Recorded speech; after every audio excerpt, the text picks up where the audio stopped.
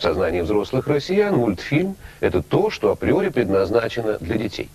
Но почему все больше родителей испытывают сомнения по поводу безопасности и пользы для своих чад иностранной мультпродукции? Откуда это гнетущее чувство тревоги, когда мы видим наших детей, которые смотрят иностранные мультики? Откуда подозрение, что в этот момент происходит что-то неправильное и непоправимое? Мы попытаемся превратить эти сомнения в абсолютную уверенность. Большая часть продукции американского конвейера фабрики грез для детей, для наших детей, не безвредна. А то немного, что осталось, можно смотреть только под родительской цензурой и с родительскими комментариями, иначе своих детей вырастите не вы. Вы можете себе представить, чтобы наши бабушки и прабабушки доверяли кому-нибудь незнакомому это важнейшее воспитание дела – рассказывать детям сказки. Тогда почему сегодня миллионы родителей позволяют своим детям смотреть мультфильмы, которые не смотрели сами, об авторах которых ничего не знают, и цель этих авторов тоже неизвестна? Ведь сказка – это то, что формирует в детском сознании модель окружающего мира. Образы мамы и папы, друга и врага, добра и зла. Всего того, на что он будет ориентироваться всю жизнь, как на духовный компас. Кстати, будет ли ваш ребенок холить вас в старости или сдаст в дом престарелых, тоже зависит от воспитания, в том числе от сказок, которые вы ему рассказывали, и от мультиков, которые вы позволили ему смотреть. Ребенок почти всю информацию воспринимает в виде образов. Из этих образов, как из кубиков, ребенок строит свою модель мира. И самым главным кубиком этой картины является образ женщины, девушки, девочки. Глядя на мульт-героинь, девочки впитывают стереотипы будущего сексуального поведения. А у мальчика формируется матрица, к которой он будет бессознательно стремиться при выборе спутницы жизни, матери своих будущих детей. И речь идет не столько о внешности, но скорее о внутренних, душевных качествах, отражениями которых являются внешность и образ действия мультяшных героинь. Мы просмотрели километры американских мультфильмов, выписали на отдельную кассету сотни эпизодов, где действуют героини женского пола, и показали все это детскому психологу. Психолог была шокирована увиденным, а мы были шокированы ее вердиктом. Оказывается, героини большинства американских мультфильмов сконструированы таким образом, что систематический просмотр лент с их участием детьми ведет к угасанию функции продолжения рода. Достигается это так. Образ женщины лишается романтики и тайны путем наделения его взрослым реализмом, физиологичностью и жестокостью. Попутно девальвируются и высмеиваются традиционные для российского общества женские качества, те самые, которые прославляют наши старые добрые отечественные мультики. Целомудрие, застенчивость, бескорыстие, скромность и материнство как таковое. То, что делают иностранные, главным образом, американские мультфильмы с нашими детьми, умещается в короткую формулировку. Интеллектуальное растление. И это не мои слова. Это мнение профессионального детского психолога. Мы будем говорить о механике изменения детской психики посредством подмены образов. Средства эти так просты, так часто встречаются в иностранных мультфильмах и так очевидны, что невольно удивляешься, как это проходит мимо внимания взрослых, не встречая противодействия. Из-за нехватки эфирного времени мы не сможем противопоставлять каждому отрицательному явлению западной мультиндустрии контрпример из отечественной мультипликации. Но если вам не лень, сделайте это сами по памяти и увидите, что для культуры, породившей эти мультики, идут в разных направлениях. Пойдем от простого к сложному. Цвет. Главная героиня раскрашена в яркие ядовитые краски. Этот прием эксплуатирует свойства детской психики реагировать на все самое яркое. Таким образом, от начала до конца ролика внимание ребенка приковано к персонажу, который ведет зрителя куда захочет, не давая возможности отвлечься и поразмышлять. Поэтому, в частности, совсем маленькие дети бросают все, когда на экране реклама, и смотрят ее как завороженные. Идем дальше. Лицо. Не надо быть гением, чтобы заметить. Главные героини всех американских мультиков на одно лицо – Мало того, что это просто скучно, но ведь если представить эти черты на живой молодой женщине, то она получится страшной. Тем не менее, из-за частоты мелькания этого лица на экране, оно превращается в приобретенный эстетический стереотип. Таким образом, девочки будут стремиться выглядеть как то, чего не бывает, а мальчики, подрастая, будут безрезультатно искать то, чего на белом свете вообще не может быть. Как вы думаете, найдут ли они друг друга? Это процесс создания новой матрицы красоты, подмена красоты уродством. С другой стороны, это воплощенная в мультиках общая тенденция всего западного мира к единообразию и упрощению. Еды, питья, устремлений, мыслей, женской красоты. В российской истории подобный процесс был назван тоталитаризмом и был всемирно осужден. Почему мульт-тоталитаризм должна ожидать иная судьба? Кстати, героини от Уолта Диснея, от Warner Brothers и других конвейеров одинаковых грез не только выглядят одинаково, но одинаково говорят одни и те же слова, одинаково действуют. Такое впечатление, что они дружно повторяют то, что видели по телевизору, точно так же, как наши дети. А ведь между тем, унифицированный образ главной положительной героини – штука опасная. Судите сами. Рисуем тиражную красавицу, которую ребенок идентифицирует как добрую и хорошую, потому что его к этому приучили. Ребенок знает, что добрым и хорошим надо подражать. А потом берем и прилепляем к этому образу всякую мерзость, типа похоти, жестокости, неуважения к родителям, да мало ли еще чего. И на положительном образе героини эти паразиты незамеченными въедут в детскую душу и станут ее управлять. Мы имеем дело с величайшим изобретением технологии обработки массового сознания, универсальным подсознательным зрительным модулем без знака добра и зла. Это яркая упаковка с опасным содержимым. У меня в руках экземпляр журнала для любителей компьютерных игр. На странице 15 есть картинка, которую сейчас вы увидите на своих экранах. Это реклама эротических компьютерных игр для детей постарше, где Вовочка, устав от сексуальных побед, хочет просто поспать, но попадая в страну эротических кошмаров. Его окружают специальные девушки с лицами мультипликационных принцесс. По-моему, это следующий этап интеллектуального растления малолетних, подготовленный мультиками. Хотя, может быть, я и не прав. Вы родители, вам решать. Самый простой пример тому, как в красивую упаковку вкладывают вредное содержимое, это наделение романтической героини, той самой, которой ребенок сочувствует и подражает, атрибутами гнева, злобы и жестокости. Вы, например, можете представить себе Настеньку из аленького цветочка с выражением злобы или ярости на лице? Может ли она вообще скалить зубы? Просто быть агрессивной. А вот цыганка в горбуне из Нотр-Дама вполне. И многие другие тоже. Можно ли себе представить царевну-лягушку, которая дерется как мужик? А вот Жасмин в Аладдине или Трольша в Шреке делают это не просто привычно, но жестоко и со вкусом. Они делают это весело и заразительно. А ведь сегодня это одни из самых популярных у детей мультиков. Омужествление женщины в американских мультфильмах для детей приводит к смешению роли полов в жизни, что при определенных условиях в будущем может вызвать и более глубокую сексуальную дезориентацию молодых людей. А теперь ты сомневаешься во мне? Мужчина ты или женщина, все равно. Здесь новый для нас мир, и нам нужно многому научиться всем. Например, к отношению к женщинам. Так что молодежный стиль унисекс в определенной мере продолжение унисекса мультипликационного. И обратите внимание, как романтическая героиня теряет признаки женского пола и ведет себя не просто как мужчина, а как Супермен. Апофеоз этого процесса – фантастические мультики про роботов или мумий. Там, внешне оставаясь женщиной, героиня не просто мужчина по роли, не просто супермен, но выходец из ада, демон. А теперь о садизме и предательстве в чистом виде. Вы, безусловно, видели этот эпизод из Шрека. И наверняка видели, как смеялись дети во время просмотра. Значит, вы сами были свидетелями того, как достигается сдвиг сознания. Как на наших глазах чужие люди изменяют психику ваших детей. Это не просто сцена красивого убийства, это девальвация смерти. Этот эпизод перечеркивает всю систему детских представлений о мире. Главная положительная героиня наших сказок не может быть вероломна, она не может быть жестока, не может убивать. Помните, как Настенька из аленького цветочка поет про маленькую птичку-соловушку, российский символ романтики и любви? А что Соловушка и ее потомством делает Трольша? Герои Шрека пришли из мира, где божий дар – яичница. После этого убийства ради развлечения двух рептилий, лягушки и змеи, кажутся невинными. На самом деле это романтический атрибут сказки наоборот. Сказки, где не лягушка становится царевной, а царевна превращается в зеленую нечисть. И эта нечисть является романтической героиней антисказки. Антигероини по ходу сюжета сопровождают антиромантические метафоры. Убийство лягушечки, змейки, птички. Точно так же, как нормальных романтических героинь отечественных мультиков сопровождает пение соловья и цветение земли. А теперь от ненависти, жестокости, предательства и мордобоя плавно перейдем к сексу в мультипликации. Подчеркиваю, речь идет о мультиках для детей. Вспомните Василис, Аленушек, Царевин и других героинь традиционных отечественных мультиков. Они даже не претендуют на реалистичность. Они условны и воздушны. Их женские атрибуты внешне лишь обозначены.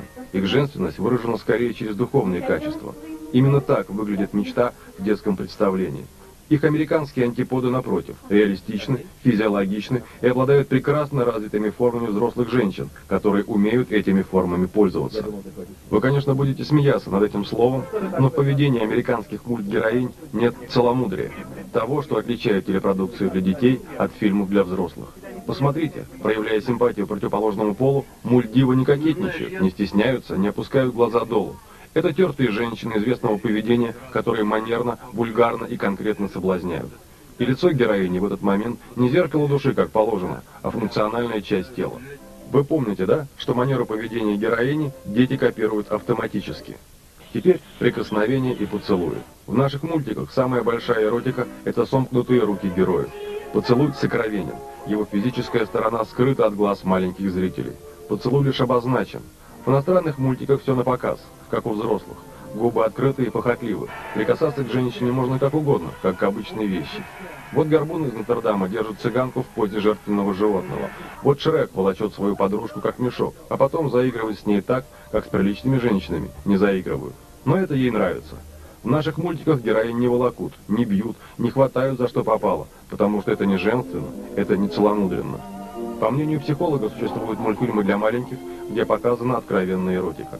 Вот, к примеру, популярный антропоцентричный мультик, где животные играют людей «Том и Джерри».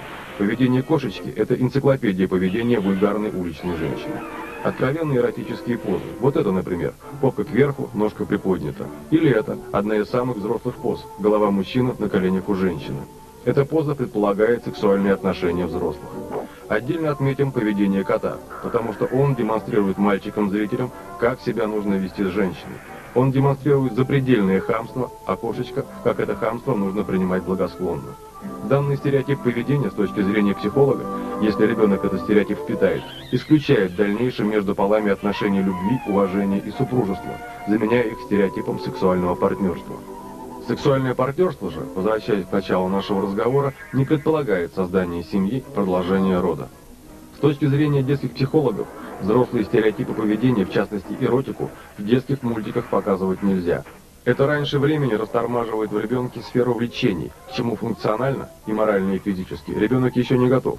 Эти переживания не будут иметь нормального выхода и искалечат психику ребенка. В будущем это выльется в сексуальные проблемы, трудности с созданием семьи и продолжением рода.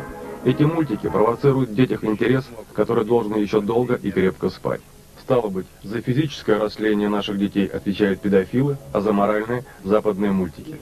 Как утверждают все те же детские психологи, для нормального развития ребенка в период первого интереса к противоположному полу ему необходима сказка, загадка, тайна. Только через романтику и робость перед противоположным полом мальчик может стать настоящим мужчиной. Только скромная, целомудренная и стыдливая девушка способна привлекать к себе настоящих мужчин, а не уродов из мультиков, которыми сегодня кишат города.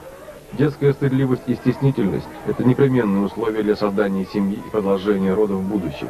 Проблема настолько серьезна, наши дети подвергаются такой массированной бомбардировке недетскими образами, что возникло массовое явление, которое психологи назвали романтическим голодом у детей. Им нужна царевна из детской мечты, а им подсовывают несвежую бабищу. Им нужна романтика, любовь и мечта, а на них выливают сексуальные нечистоты. Белая снежка и семь гномов, Золушка. Я смотрела мультфильм «Белоснежка», «Алиса в стране чудес» и «Винни-Пух». Красную шапочку, спящая красавица, красавица и чудовище. Я все смотрю, которые по телевизору идут, но иногда пропускаю. Джим Баттон, Угу. Том Джерри. Проект Z, это Бэтмен, это Джим Баттон. Иностранные, они хорошо нарисованы. Ну, Марсиане, Симпсоны. Э, э, ну, Винни-Пух, когда есть. Шрек, э, Симпсоны, э, маленький цветочек. Там Спирит или Шрек. Лила и, Ш- Лила и Стич. Не советский больше по душе. Самый главный, самый священный, самый важный для ребенка образ женщины в сказках всех народов мира – это образ матери. Когда мы стали разыскивать его в американских мультфильмах, то натолкнулись на нечто потрясающее. Мама, материнство, поэзия материнства в традиционном виде показан только в мультиках про животных, таких как «Король лев», «Книга джунглей», «Дамбо», «101 Далматин». Трогательные, сентиментальные и очень добрые сцены материнской заботы к медвежатам, щенкам, слонятам и другим детенышам. А вот когда дело дошло до мультиков про людей или тех, где животные играют людей, впрочем, судите сами. Вы испытаете, как говорится, истинное отвращение. Вот, например, «Утка-мать» от метро Голден Майер.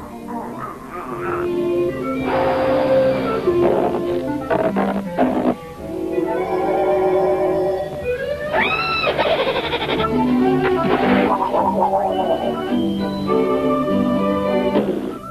Совершенно опустившееся, маргинальное создание, которое демонстрирует свое нижнее белье мужу. В жизни так выглядят и ведут себя алкоголички. Ее голос, манеры, жесты не материнские. Даже своего ребенка она держит как стакан. Ее поза не обороняет ребенка. Легко сравнить то, что мы видим, с нашей серой шейкой. И там, и там образ матери. Но у маленьких зрителей они формируют диаметрально противоположные отношения к своим собственным мамам. Вообще, в американских мультфильмах мы не встретили ни одной матери человека, которая была бы молодой, полной сил, красивой, вызывающей у маленьких зрительниц желание подражать. Все они отталкивающие. Взять хотя бы эти персонажи из мультика «Гуфи» и его команда. Не молодые, не красивые, апатичные, заторможенные, с уродливыми фигурами. И еще один распространенный прием, когда мать нарисована в виде вполне благообразной, но старой женщины. В наших мультиках такими рисуют бабушек. А сейчас мы покажем вам то, что называется 25-м кадром. Зрительный образ, который появляется на экране на очень короткое время, и сознание не успевает оценить его критически. Такие образы, как правило, записываются прямо в подсознание, как гипнотическое внушение. Мультфильм «Красавица и чудовище».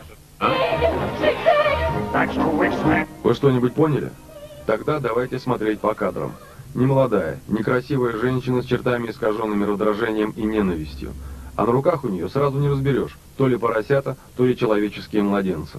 Более отвратительный и неприглядный образ матери невозможно себе представить, потому что он совмещен с внешностью разъяренной свиноматки. Верующий человек сказал бы, что это инфернальная пародия на Богоматерь. А на заднем плане, над всем этим и выше всего этого, видна прекрасная героиня.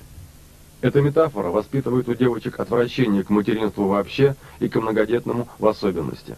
Либо ты хочешь стать такой же уродливой, старой и бедной, тогда будь матерью, либо вечно молодой и красивой, тогда не рожай. Девочкам как бы предлагают выбор, который на самом деле выбором не является, потому что решение насильственно, замаскированно вкладывается в подсознание. Образы женщины – это образы э, жены и матери – будущее. И именно так они должны запечатлеваться в памяти, и не только в сознании, но и в подсознании ребенка, как мальчика, так и девочки. Для девочки это образец для подражания, а для мальчика это образец, который он в будущем должен выбрать. Разве может такая женщина э, возбуждать что-то, кроме грубого влечения? Я повторяю, в лучшем случае. А в худшем случае она вызывает только омерзение – и к женскому полу, и к семье, и к жизни вообще. Потому что если жизнь населена такими существами женского пола, то э, такая жизнь безрадостна, бесперспективна. Бесперспективна жизнь, в которой женщина не продолжает род. А мне наплевать, что будет послезавтра. Детям нравится смотреть мультфильм. Но родители по опыту знают, не все, что нравится детям, им полезно.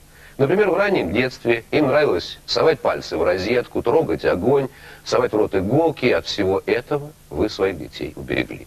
Так почему же миллионы россиян спокойно смотрят на то, как их детей калечат мультфильмы? Ведь ребенок имеет право на детство или нет?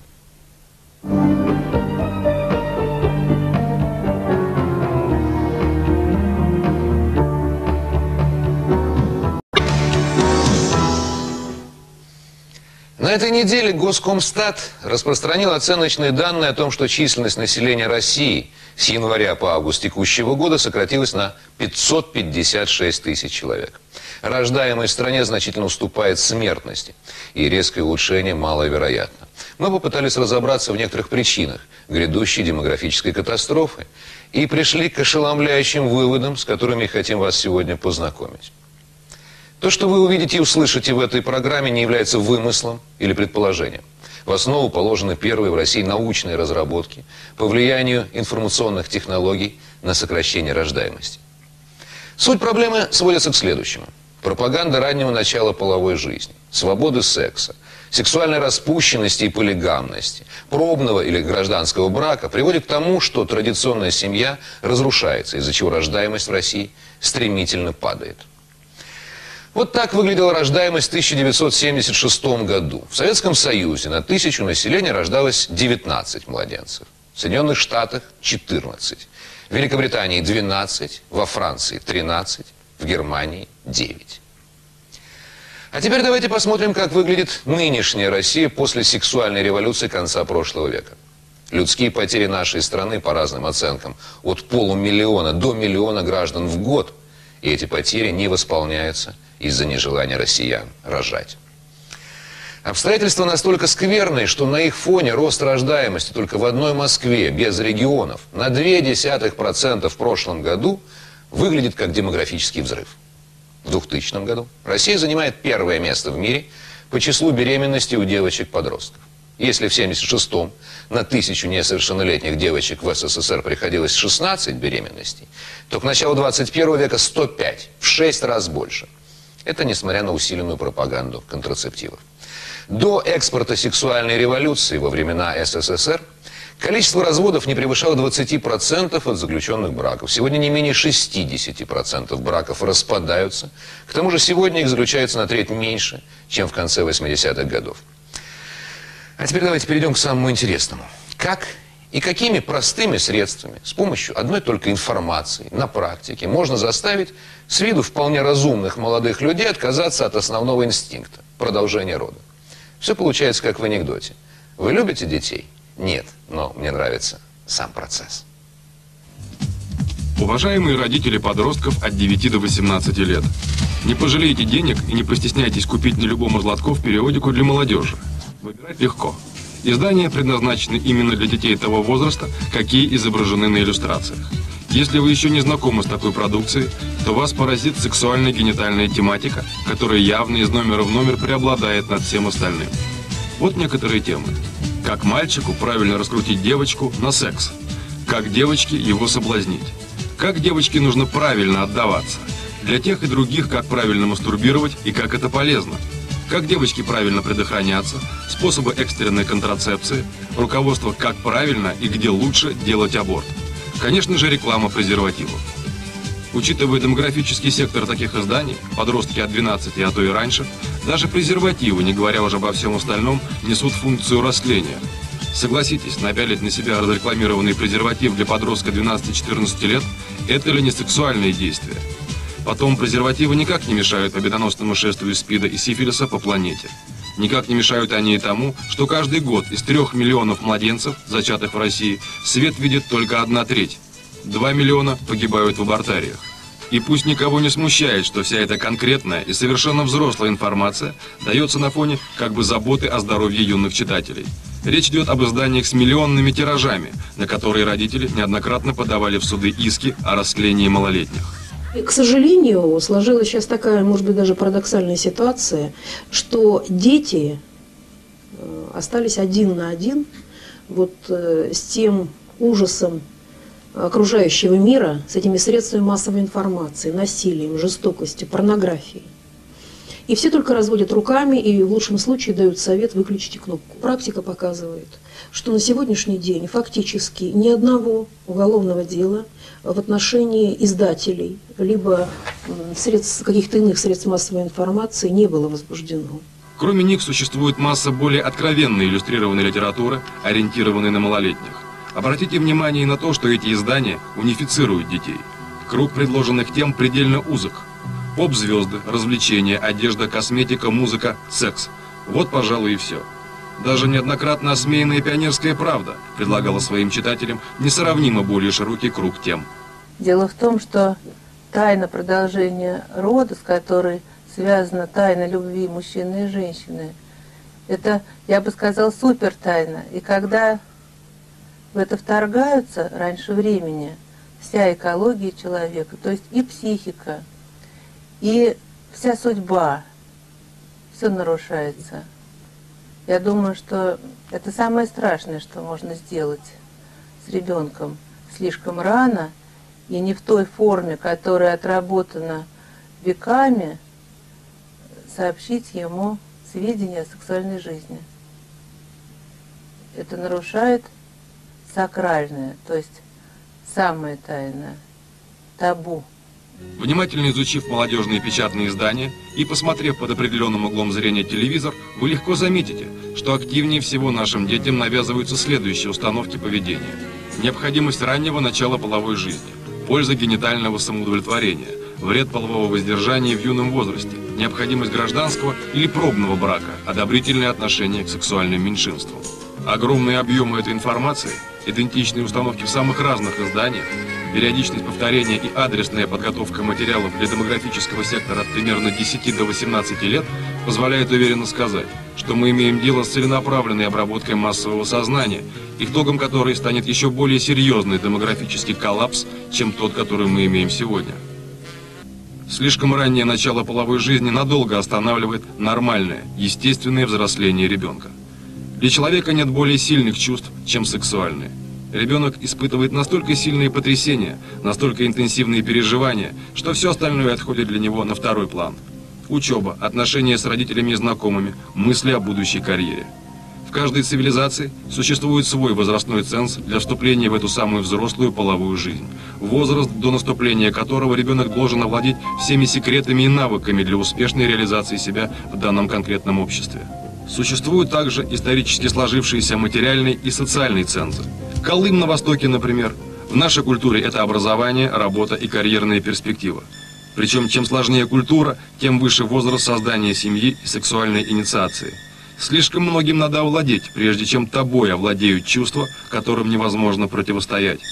На каких-нибудь тропических островах нормально, когда дети начинают заниматься сексом, как только им этого захотелось. Там бананы сами падают прямо в рот. У нас же раннее переключение с решения проблем роста личности на секс чревато созданием поколения патологических неудачников. Наверное, не случайно в свободном американском обществе в прошлом году половина школьников получила не аттестат, а справку об окончании средней школы, не сумев сдать экзамены. Начиная половую жизнь, будучи еще в полной материальной и социальной зависимости от родителей – Дети воспринимают секс не как неотделимую часть взрослой жизни, за которой должно последовать рождение и воспитание детей, а как игрушку, как развлечение, вроде тамагочи. Этот деструктивный навык они тащат потом за собой свои семьи, которые распадаются при первых же трудностях. Ведь там развлечения заканчиваются. Надо жить и по возможности выживать. Раннее сексуальное начало надолго останавливает общественное становление ребенка. Дело в том, что э, человеку э, из нашего общества, из нашей цивилизации необходимо получить э, такой комплекс знаний, который поможет ему кормить себя, семью и э, стать полноправным членом общества. Раннее начало половой жизни прекращает вот все эти нормальные для нашей цивилизации процессы и э, вот, как следствие поколение неудачников, которое уже э, взращено, взрастилось э, в Соединенных Штатах Америки после э, происшедшей там э, сексуальной революции. Теперь давайте посмотрим, как запускаются механизмы, изменяющие сначала поведение, потом личность, а в итоге судьбу наших детей. Согласно теории социального моделирования, как дети, так и взрослые приобретают установки, осваивают эмоциональные реакции, новые типы поведения путем копирования поведения теле и киногероев. Задача социального моделирования – создание с помощью средств массовой информации человека с заранее заданными нормами поведения. Примерно так же, как в лабораториях с помощью приятных и неприятных стимулов моделируют поведение крыс. На телевидении и в прессе создаются модели людей, которые ведут себя не так, как принято в данном обществе. Но это деструктивное поведение модели не влечет за собой видимого вреда, а в итоге вознаграждается. Как, скажем, типичный американский киногерой в конце фильма вознаграждается довольно уже надоевшими чемоданом с долларами и симпатичной бабой. В случае же моделирования сексуальной распущенности в поведении подростков, наградой служат как бы окрепшие в результате этого здоровья, побежденные комплексы, авторитету сверстников, успеху девочек или, соответственно, у мальчиков. Усиленно внушается, что безопасный секс и анонизм крайне полезны для здоровья. Моногамные семейные отношения с целью рождения детей представляются как скука и рутина. Им противопоставляется секс, как вечное развлечение без забот с неограниченным количеством партнеров, но без детей. Вот вам простенькая схема информационной стерилизации целого поколения. Кстати, существуют способы избирательной стерилизации молодежи из разных социальных или этнических групп. В частности, от ранней сексуальной инициации падает прежде всего рождаемой среди малообеспеченной молодежи. Ведь именно эти ребята читают самые дешевые издания, посещают самые дешевые клубы и по нехватке средств больше, чем богатые, проводят время у телевизора, самого дешевого развлечения на свете. А вот вам еще один штришок – По данным Национального центра медицинской статистики США, с 91 по 99 год рождаемость среди чернокожей молодежи США в возрасте от 15 до 17 лет снизилась на 38%, в то время как для белой молодежи того же возраста эта цифра составила только 6%. То есть на каждого нерожденного белого 6 нерожденных черных. В идеале от всех этих бед детей могли бы оградить родители. К сожалению, даже в благополучных семьях они спохватываются, как правило, слишком поздно.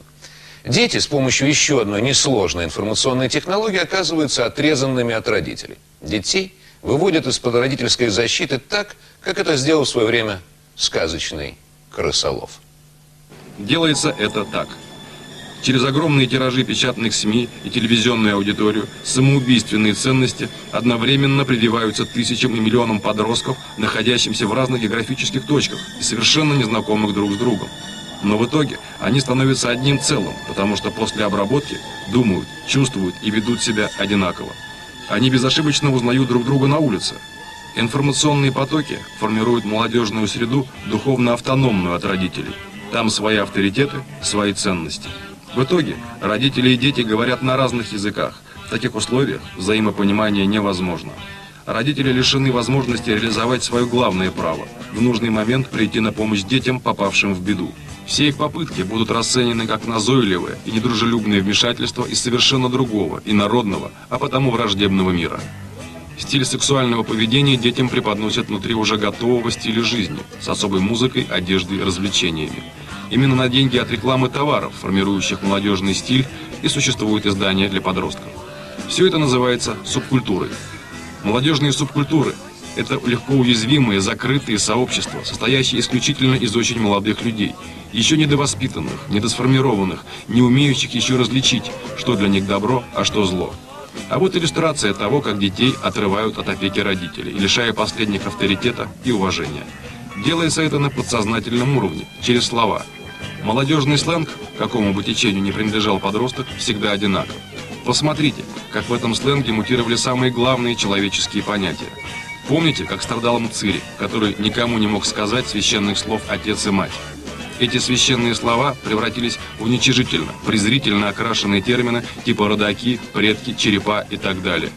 Так что, уважаемые родители, чтобы понять, кто вы для своих детей, почитайте молодежную желтую прессу. В результате, с виду жизнерадостная, физически здоровая и успешная субкультура, отрезанная от проверенной поколениями защиты общества старших, оказывается лишена главной функции любого биологического вида – способности себя воспроизводить. И еще, по данным медицинской статистики, никогда еще в России не было так много случаев суицида среди подростков, как в наше время. Имитация жизненных процессов не дает ощущения жизни и не проходит бесследно.